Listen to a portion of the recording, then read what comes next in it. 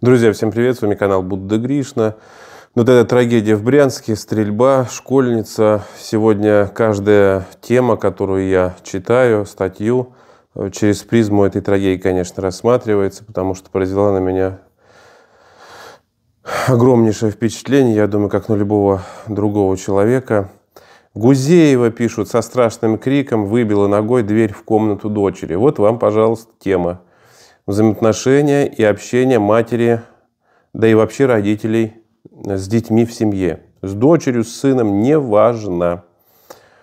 Можно говорить учитель, психолог, рамки, э, директор, э, значит, э, охрана, что угодно, молодежная организация. У нас есть, в конце концов, Росмолодежь, кто не знает. Я тоже тут на днях увидел даже Э, руководителя Росмолодежи. Чем занимается Росмолодежь у нас, я не знаю, к сожалению. Может, кто-то знает, напишите. Значит, э, можно говорить о сериалах, которые показывают сейчас, э, светлых, замечательных, о сходках, драках и так далее. Тоже, видимо, рассчитывая на то, что это будет как-то развивать духовно нашу молодежь. Да, но вот возьмем в отрыве от всего этого именно общение с детьми в семье. Потому что все-таки основное формируется там. Так вот, Гузеева вспомнила, как обсуждала с дочкой одну не очень хорошую ситуацию. Вообще, на самом деле, статья довольно неплохая. Она рассказывает о том, как совершала ошибки в воспитании детей. Ну, кто их не совершал. И вот она вспомнила, как обсуждала с дочкой одну не очень хорошую ситуацию. Артистка тогда сорвалась и выбила с ноги дверь в комнату э, Лёли. Были же причины. Я ей говорю, уже более взрослом возрасте. А она мне говорит, ну я же была маленькой. Но вот не понимала я этого, говорит Гузеева. Общалась на равных. Корит себя актриса. Я вообще не пример мамы ни разу, говорит Гузеева, многое упускала, кидалась из крайности в крайность, орала за двойки, а потом в ногах валялась, зализывала, ничего хорошего. Друзья, э, про Гузееву сложно говорить, с другой стороны просто, потому что когда она рассказала, как какой-то муж, наркоман, алкоголь-табакурение не вредит здоровью, наркотики, зло, занимайтесь спортом, бил ее гантелей по виску а, и наблюдал, как у нее расширяются, сужаются зрачки, после этого ее отношения с детьми, э, какими другими могут быть, я не знаю, кроме как эмоциональные качели. То орать, то двери выбивать, то зализывать, то еще что-то. Она это впитала эти взаимоотношения. То есть то, что было в молодости, то потом проецируется. Вчера вот я снял видео обращение к зрителям подписчикам, к вам, друзья. Мы рассуждали с вами о... Я рассуждал, точнее, потом вы в комментариях, э, о эмоциях, плюс, минус, качели эмоциональные, э, скука и так далее. В общем, кому интересно, посмотрите. Это видео вчера, обращение к зрителям подписчикам. И вы знаете, в данном случае я хочу сказать, что зачастую родители, которые, у которых рождаются дети, сами глубоко психологически травмированные личности. Глубочайшим образом.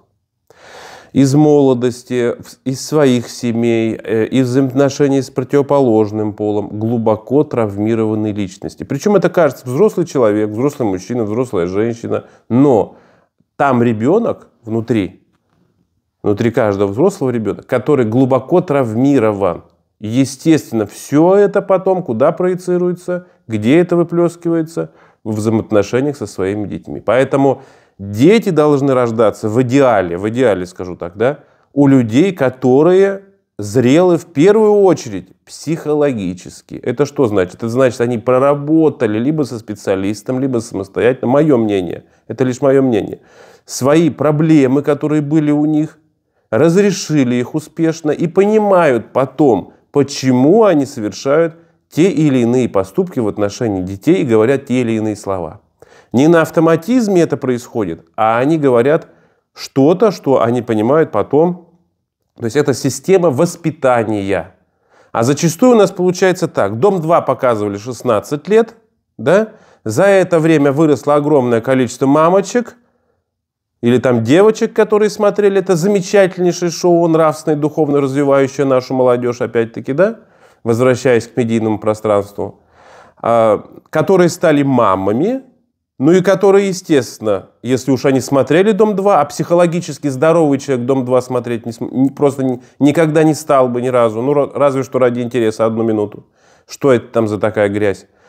И вы понимаете, дело в чем? Дело в том, что какими они стали мамами, как вы думаете? Ну правильно.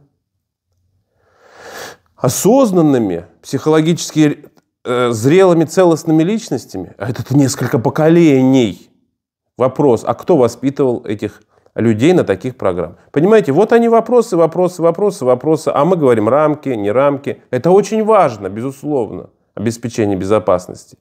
Но еще важнее обеспечение безопасности психологического здоровья населения. Мам, пап.